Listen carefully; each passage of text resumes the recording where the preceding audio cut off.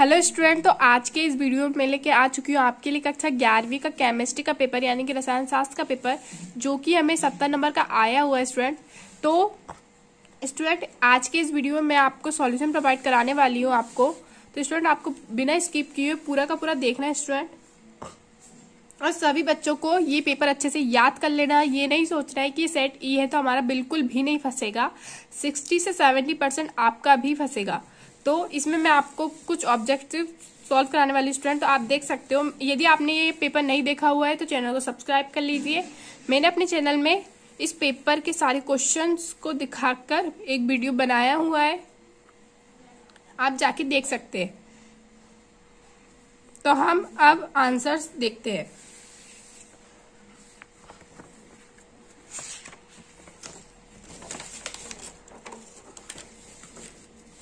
तो हमारा प्रश्न नंबर पहला है, सही विकल्प चुनकर लिखिए। तो हमारा पहला क्वेश्चन निम्न में से किसमें अणुओं की संख्या सर्वाधिक होगी? तो इसका आंसर जाएगा 45 ग्राम ग्लूकोज। अब दूसरा है, चुंबकीय क्वांटम संख्या संबंधित है। तो इसका आंसर जाएगा अभिविन्यास। अब तीसरा है, समस्थानिकों में इनकी संख्या समान होती है। तो इसका आंसर जाएगा प्रोटॉन। अब चौथा है, इलेक्ट्रॉन बंधुता सर्वाधिक किसकी होगी? तो क्लोरीन की इलेक्ट्रॉन बंधुता सर्वाधिक होती है और ऋण बंधुता फ्लोरीन की अधिक होती है। हमेशा स्टूडेंट याद रखना है, इलेक्ट्रॉन बंधुता किसकी अधिक होती है? सीएल की। और ऋण बंधुता किसकी अधिक होती है? फ्लोरीन की। अब पांचवा हमारा, किसी तत्व के दुई धनायन का अभिविन्यास दो आठ चौदह हो तो उसका परमाणु क्रमांक होगा। इसका आंसर जाएगा छब्बीस। अब हमारा है नेक्स्ट क्वेश्चन एमओ सिद्धांत अनुसार ज़ीरो टू आयन में प्रतिबंधित इलेक्ट्रॉन युग्म की संख्या। आज मैं आप सबको बहुत ही बड़ी एप्लीकेशन के बारे में बताना चाहती हूँ, जो डेली हंट द्वारा बनाई गई है। इस साल डेली लर्न ने आई अचीव स्कॉलरशिप एग्ज़ाम रखा है, जिसमें पार्ट लेकर आप laptop mobile phone smart watch भी जीत सकते हैं। तो डिस्क्रिप्शन बॉक्स में दिए हुए लिंक पर क्लिक करके जल्दी से स्कॉलरशिप में रजिस्टर कीजिए और पाइए पचास करोड़ की स्कॉलरशिप जीतने का मौका। दोस्तों, इसकी सबसे बड़ी खूबी यह है कि पहली बार किसी ने बड़े शहरों के साथ साथ छोटे शहरों, ग्रामीण भागों तक क्वालिटी एजुकेशन पहुँचाने का निर्णय लिया है और यहाँ इंग्लिश के साथ साथ हिंदी माध्यम में भी पढ़ सकते हैं। डेली लर्न जल्द ही अपना ऐप भी लाने वाला है। जहाँ आपको live classes study note test series and quiz मिलेगी। तो आप वेट किसका कर रहे हैं? जाइए लिंक डिस्क्रिप्शन में दे रखी है और इनाम जीतिए। क्या तो इसका आंसर जाएगा फोर अब यहाँ पे स्टूडेंट नेक्स्ट क्वेश्चन है हमारा। एक उत्क्रमणीय अभिक्रिया में उत्प्रेरक के प्रभाव से अग्र अभिक्रिया व प्रतीप अभिक्रिया दोनों समान रूप से प्रभावित होगी। अब यहाँ पे हमें प्रश्न नंबर दूसरा यहाँ पे इंग्लिश मीडियम वालों के लिए दिया हुआ है। यहाँ पे आपको मैंने सही विकल्प बताए हुए आप वहाँ से यहाँ पे भी सही विकल्प के आंसर देख सकते हो। इसका आंसर जाएगा 26 इसका क्लोरीन इसका प्रोटॉन और इसका जाएगा ओरिएंटेशन और इसका जाएगा 45 ग्राम्स ऑफ़ ग्लूकोज और इसका आंसर जाएगा फोर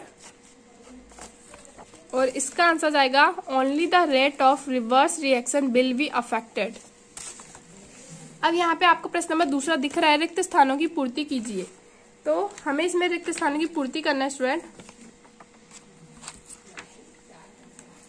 तो हमें पहला क्वेश्चन दिया है, बर्फ़ के जल में पिघलने पर एंट्रोपी खालिस्तान है, धनात्मक है, ऋणात्मक है? तो इसका आंसर जाएगा, धनात्मक है।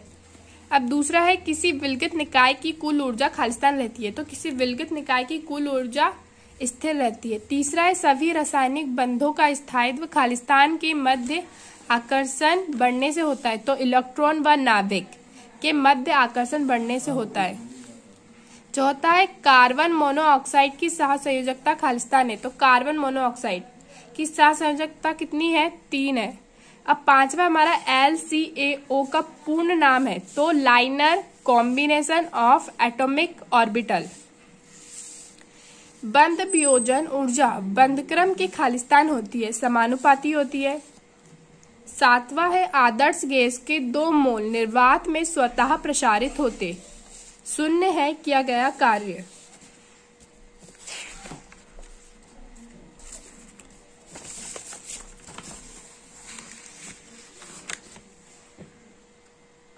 अब हमारी सही जोड़ी मिलाना है स्टूडेंट। मैं आपको बता देती हूँ किसको किसके साथ मिलाना है। तो दाब। तो दाब का मात्रक क्या होता है? पास्कल होता है, द्रव्यमान का मात्रक क्या होता है? किलोग्राम होता है। परमाणविक हाइड्रोजन। धात्विक सतह पर संयोजित होकर उच्च ताप उत्पन्न करता है। अब चौथा है, जल का विद्युत अपघटन देता है तो हाइड्रोजन और ऑक्सीजन। अर्धचालक कौन है? सिलिकॉन है, विद्युत चालक। ग्रेफाइट है और सर्वाधिक कठोर, आपको पता ही है, हीरा है। सर, यहाँ पे आप इंग्लिश मीडियम वाले भी सही जोड़ी मिला सकते हो इसको देख के। अब प्रश्न नंबर चौथा है, एक वाक्य में उत्तर दीजिए। तो पहला है, एक मुक्त मूलक का नाम बताइए।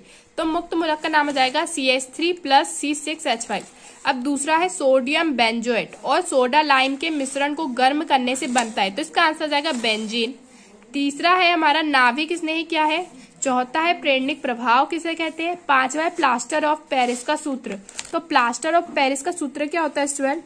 C SO four half H two O ये आपका प्लास्टर ऑफ़ पेरिस का सूत्र होता है। और प्रोटॉन की खोज किसने की थी स्टूडेंट प्रोटॉन की खोज की थी जे जे थॉम्सन ने। अब कैथोड किरणों की खोज किसने की थी? तो कैथोड किरणों की खोज की थी ई गोल्ड स्टीन ने। किसने की थी? ई गोल्ड स्टीन ने। तो मैं आपको ये वाला आंसर और ये वाला आंसर भी आपको प्रोवाइड करा देती हूँ।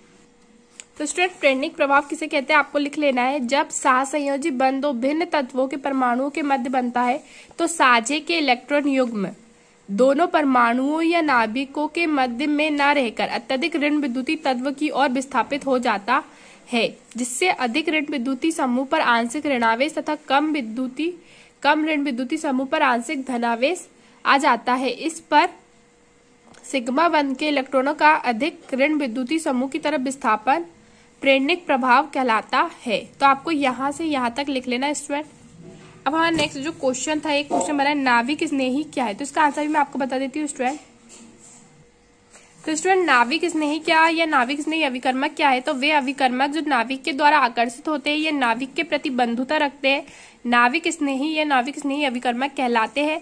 ये सामान्यतः ऋण आवेशित आयन या ऐसे उदासीन अणु होते हैं जिनके पास एक या एक से अधिक एकाकी इलेक्ट्रॉन युग्म होते हैं। ये उस स्थान पर आक्रमण करते हैं जहाँ पर इलेक्ट्रॉन घनत्व कम होता है।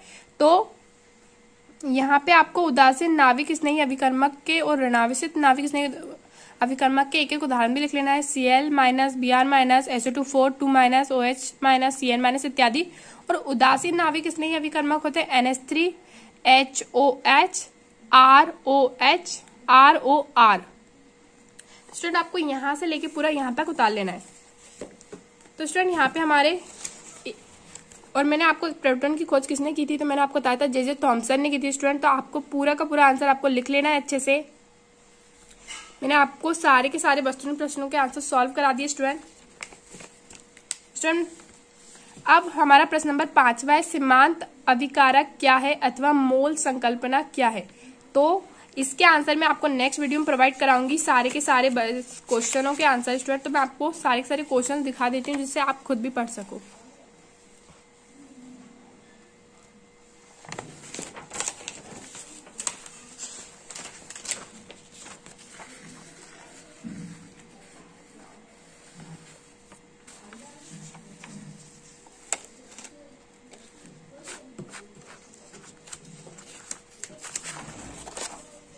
आप यहाँ पे क्वेश्चन देख सकते हो स्टूडेंट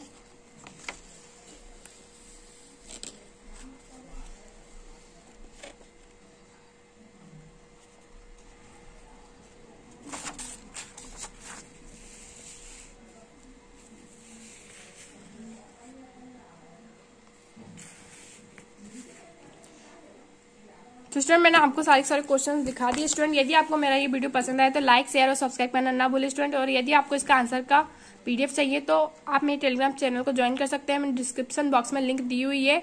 आप टेलीग्राम चैनल को ज्वाइन कर लीजिए। और आगे के आंसर मैं आपको नेक्स्ट वीडियो में जल्द ही प्रोवाइड करा दूँगी, जिससे आप जल्दी से जल्द पढ़ सके। तो आप अभी तक अपने तरफ़ से भी सारे क्वेश्चनों को याद करने की कोशिश कीजिएगा, वरना मैं नेक्स्ट वीडियो में आपके लिए सारे सारे आंसर लेके आने वाली हूँ। Thank you for watching